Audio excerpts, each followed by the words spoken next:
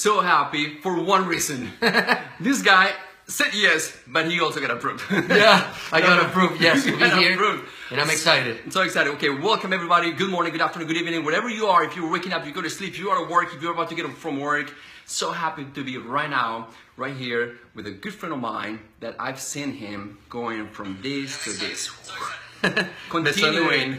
He's, he's getting ready to share his on his uh, uh, social media. Remember, en español, viene ahorita. En español, it's coming. Yeah, So- we're gonna we're gonna do it in English first, but I, I'm trying to I'm trying to share. to share the video. In the meantime, while he's getting ready, I'm gonna do a little bit of a not justice, but in, uh, introduction about who am I sitting right next to right now. Friend of mine, about seven years ago, probably. Yes, seven yeah. years ago. Um, born in Boston, uh, uh, raised in Venezuela, and now public figure, radio, TV, uh, all over the net, Facebook, Instagram. I'm one of his huge fans, and I'm so happy. I'm so happy that he said yes. I wanna. I've seen. I've seen what you're doing. I don't know what you're trying to get. You know. Uh, in that direction, but I, I would like to be. So welcome, Kaden, to our show. Today, we're gonna be, you know, sharing the story of somebody who came to this country, moving back from, you know, fading away from Venezuela, moving back to the States, and not only moving back, but having the ability to create a, a tremendous amount of success, success impacting people's lives. You know, I've seen what you've done on the net. I've seen what you're doing on the radio and TV and everything else. No worries. He's just trying to hurry up so you can share Yeah. this on on his on his page. So why don't you tell our audience very quickly, you know, a Yes. little bit about yourself as a human being? Yeah, well, my name is Rodolfo. They call me El Chamo, which is like the kid. Uh, I moved to the United States when I was uh, 24. That was back in 2007. I came here, Juan, uh, Juan Carlos, with a dream. Uh, basically, I had a luggage full of uh, half of my dreams and half of my clothes because I didn't have anything else. I just wanted to conquer what what I, I went to college for journalism, and, and that's something that I wanted to do. I wanted to uh, pursue a career in media and also theater and everything that it was involved with that. And it's been almost 10 years now. I'm, I'm super excited. Houston has been a fantastic market, but also uh, Texas. And, and hey, I have, uh, I have meet uh, great people like you. And I'm so happy to be here and talking about the, the Latinos, the immigrants, and, and, and being able to share my story and being able to push uh, you guys to follow your dreams because Very that's what we quickly, very quickly. You were born in the US. How the Yes, very quickly. Yeah, my mom and my uh, dad they were doing uh, his ma- their masters Okay. here in, in San Francisco, California. So that's why I was born here. But I moved to Venezuela when I was just a baby, basically when I was uh, two months old. Two months old, and then you practically I was raised in Venezuela. You know, Yeah. fully Venezuelan. Yeah, and I, and I came I came the back when I was what? 20, 24. 24. So, So- pretty much you actually live there longer in Venezuela than Yeah. you, you've been in the US. Yeah, that, that's why I have the Latino accent, you know, the Venezuelan accent. The Venezuelan accent. Not only that, he's a professional. I also wrote artists because you, you know, I wish you could sing for us if you do. I don't know if that's gonna give you the time. Artists, you know, acting, and not, and not only that, Yeah. represent a, that's a large that's, community. That's actually how I started in media. Uh, I was doing theater since I was seven, and uh, when I was 19 in my first semester in college, there was this guy that was doing a radio show. He was like, "Hey, uh, I want." He he saw me in a play, and play. I'm like, "Hey, can you come here and do a few voices and help us with um with the the, the radio show that we have?" Right. And I, I went there and they gave me the assistant production and it's I, I fell in love with radio. I've been doing it since I was like I said 19, more than 14 years 14 now. years. I'm surprised you never pursue a singing career. Uh, it, it was never my my thing. Acting was more. Probably acting, yes. I actually uh, I didn't I didn't pursue a, uh, an acting career because I felt back in the day that it was a really unstable market. It, it still is. Correct. Castings and, and when you go to a casting, it's, it's super scary though. totally. Man, um, You have to prove yourself in two seconds, you know. and, and you know when you're when you're 20 when you're in your 20s you you limit yourself too much Right. Uh, all those uh, fears that you're not gonna get the job that you're not gonna get the um, the part in a play they usually So limit true. We your, your ability yeah your ability to to achieve many things Correct. now that, that I have that I, I, I have achieved many things in my life, I, I I can tell you that if you follow your dreams, you can actually conquer so many fantastic things. things. that you're not going to be able to uh, even dream about it. Though. So true, so true. As you grow older, we remove set of fears, and fears could become your motivator or it could become your obstacle right away. Um, so we have, you know, people from our audiences, you know, now my Facebook is going a little bit crazy than normal on his right here. So happy. Number one, we never talk about religion or politics. I don't. I just don't. That belongs to you. Yes. But I'd like to get probably um, your feel on what's happening with the new implementations of, you know, the new regulations. Um, if if we look at facts, uh, Obama deported almost three million people. That's true. He did it uh, quiet, so probably nobody was uh, like like so scared like that it like it is right now. Correct. I understand why Hispanic people and why immigrants are so afraid of what, what what's happening, uh, but um, they only gonna go for people with uh, felonies, you know, Sure. with, with um, uh, uh, delitos, with felonies, yes, Felonies. And, Crime. uh, crimes, yeah. Um, if you work hard, if you if you try to live uh, a, a decent life, a stable life, if you help others, they're not gonna go for you. I mean, um, we're, we're here for the long run, like they say in, in the, in the U.S. So uh, my advice will be, hey, keep working hard. Donald Trump's not gonna work for you. You're the one who's gonna um, uh, pursue your dreams, and you're the one who's gonna build your destiny, though. So hey, do it. Uh, do it. That's that's, I, That's I would say my advice. Though. Now, going back to you, Yeah. very quickly, because you know I'm very, very happy to have you here on, on this series of interviews. Um, in, at any, point in life where you offer to do something else besides your dream of pursuing journalism and being, you know, uh, at your best, because what you're doing, you're at your best. You know, it's just your the most value of yourself. Were you ever, ever offer, you know, like a job in an office or something that you considered you almost took, but you said, Yeah. you know what, I'm gonna try this as much as I can. the, the way it works in radio and TV and all that is that you have to become a little bit more famous to make money. When you're starting, you're not making any money at all. It, at all, It, true. takes a while, you know. So, um, of course, uh, back in the day, I was offer, I was being offered uh, jobs in in the alcohol industry, Okay. marketing, Okay. advertising, and. And, and they were paying a little bit better than, I, than what I was making at the at time. that particular time. Yeah. So you And- have patience. You said I said, you know what? This is what I want. I'm gonna give this a few years. Correct. To see if I can achieve what I want. And if no, yes, I will consider uh, changing careers. careers. Okay. Uh, right now, I'm in that phase of, of, of times that, that, that I feel that uh, that hey, I, I have a lot of room to to, to, grow, To grow. Yeah.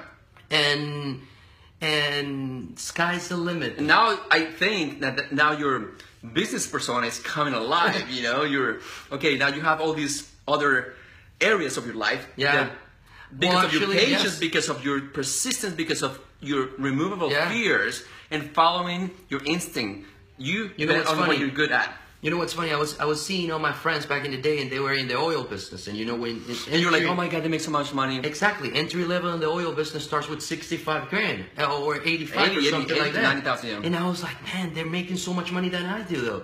And and I felt that um At some point, we feel like we're less. Yes, yeah, and I was like, when it will be my time to to make that that amount of money. I just had patience, and and now I like everybody. Everybody in the states like, hey, when you come here, you have to work yourself. That's not the truth, though. I work 26 hours, 20 28 hours a week, and I make three times probably what uh, what the oil guy business is doing, though. But now- probably but you- because I I, I found yourself. a niche. Correct. You know. Correct. You you leverage yourself in the in the tough times, right? That's what it is. You Yeah. know, uh, sometimes in order for us to pick up, pick up the product, you have to produce and manufacture, and that takes that, that's a process. Um, now. I I see an entrepreneur, I see an artist, I see a business leader, I see a community uh, activator. Yeah. Because you appear on TV, you appear on radio, but you also persona. You also Rodolfo El Chamo. For those who are listening, uh, I linked already his name, but go to his page because you cannot add him on on a regular Facebook uh, basis. He's got too many people, um, and then you also, from you through your through your work, you uh, you produce you know content that is amazing is entertaining yeah, yeah. We try to uh, uh, keep uh, innovating all the time. Social media has become a, uh, has become a, a fantastic tool that we can use every day to to many things. Uh, with social media, I have been able to help people uh, Totally. try to get a, a, um, a Energy transplant or, or try to get a surgery or help my community. And yes, also I would like to I like to entertain in my social Yeah. media. So I have this. Uh, because your persona is like that it's natural you know yeah, I have a, a, a segment. The name is uh, Al que le toque. It's it's basically one of those segments that I talked about relationship relationships the way I see it. Also, yeah it's very personal also another one that the name is Minuto Terapeutico, which is a third Super popular. mi- minute, Mi- mi- minute. minute. Yes. Sorry. That's right. it's difficult to do something in English. so um, and, and and that's another thing uh, that I record two years ago when my friend was super sad. I basically sent him a video saying like, hey. Uh, hey, try to stay positive. Hey, try to move forward. He broke up with this girl. He was super uh, angry and mad and sad. And I shared that video on my on my Facebook. And, and man, I, I I I saw there's so many people that they were struggling with the same problem that my uh, body was facing. You know. yeah.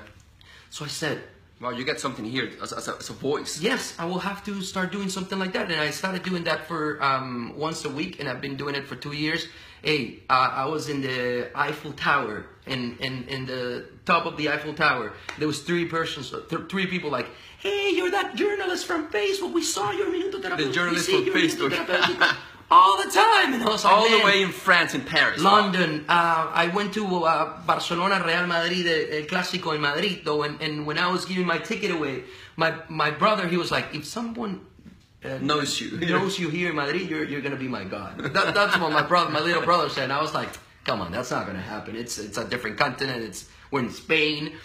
The girl that it was um, like like scanning our tickets in the Santiago Bernabeu stadium, she was like, she started smiling, and I'm like, yeah, that's my uh, that's my brother. You have to scan uh, his ticket, and she's like, I know who you are. I follow you. You're Chamo, and I was like. Now I have to say, I have to say this. So, a lot of people may see, oh, he works on TV, he works on radio. That's why. No, not only that. I've seen the amount of investment and the appreciation and the potential that you saw on social media. Because I Yeah. since 2008, and you know what happens when people are start, you know, understanding that your voice has power and you have the power to influence and help people. Yeah.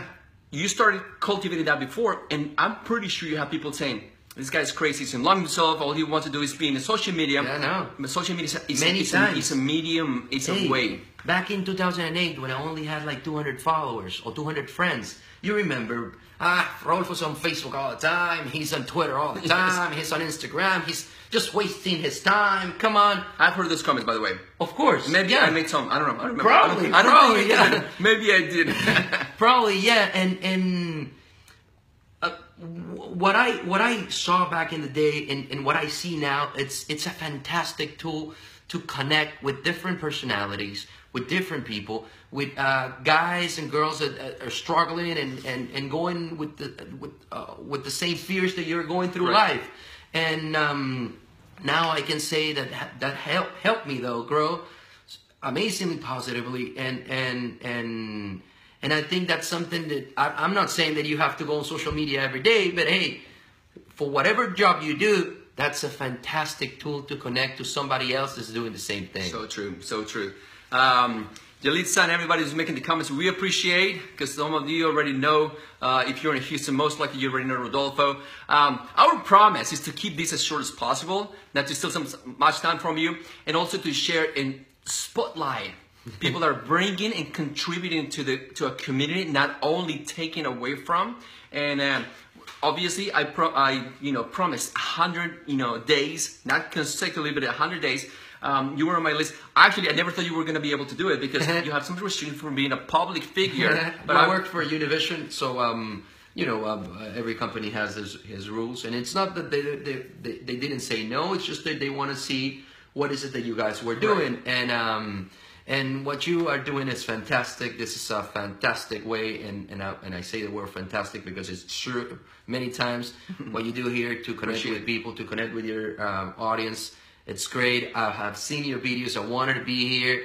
I was like pushing, like, hey, th- that's my friend, but he's also doing a fantastic content, and that's what we need. Great content. Great content. I appreciate it. Now, uh, before we let you guys, because we're going to switch to Spanish right now, uh, I would, or you already left so many messages to young and to older people in regard to dreams, in regard to pursuing that. Yeah. What message would you like to leave the audience today? My friends, my clients, my acquaintances, people that I met, um, because we get people all, all over the world. Yes. Uh, It's not as extensive as yours, but No, but you, all, you all do. over. Yes, I've seen it. What type of message would you like to leave the audience today in regard to pursuing your own dreams? Um, hey, a lot of people's going to tell you it's not going to happen.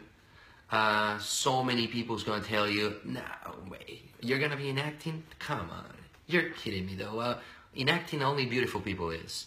Uh, you're going to be in media? That's not possible. You're going to try to sell a house? No, you don't have following. I mean, nobody knows who you are. Many, many, many ones are going to try to kill your So dreams true, though. so true. Hey, listen to your heart.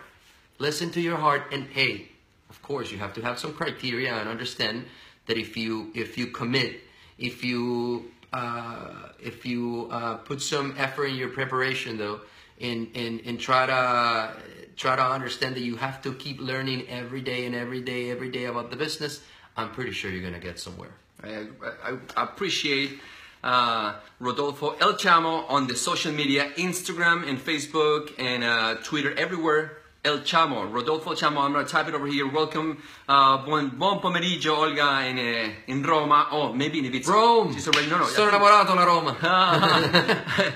Roma, bellissima, bellissima, ma dis- discipline. She Discipline, yes. The discipline is consistent. Discipline is very important. exactly, yeah.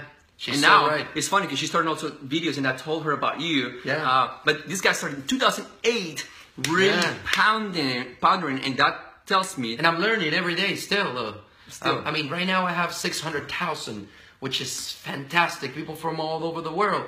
Uh, but still, I'm trying and to- Facebook is your your main, right? Yeah. Some people go on YouTube more. Some Yeah. people go on uh, Instagram, depending on your persona. Yeah, I'm, I'm trying. I'm trying now to switch a little bit more to Snapchat and Instagram because it will uh, reach more Thank my millennials. Keep going. And uh, yeah, he has his Snapchat. uh, Snapchat. I started picking up Snapchat from this guy right here. So now we're, I'm recording live Yeah. on the Facebook interview. Thank you, Snapchat, for watching. and it's only 20 seconds. So I'm just gonna do only, only one snap.